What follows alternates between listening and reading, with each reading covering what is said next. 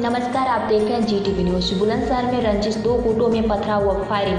पथराव में चार लोग हुए घायल। सूचना पर मौके पर पहुँची पुलिस को देकर भागे आरोपी। दोनों गुटों के चार लोगों को पुलिस ने हिरासत में लिया। बुलंदशहर के अनुसार कोतवाली क्षेत्र के गदियाना मोहल्ले की घटना। ऐसे बुलंदशहर से प्रदीप पंडित की एक खास रिपोर्ट।